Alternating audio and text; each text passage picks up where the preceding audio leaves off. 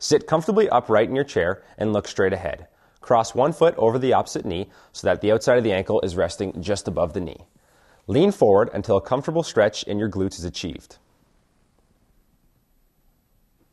Hold for two seconds, relax, and repeat three to five times for each leg.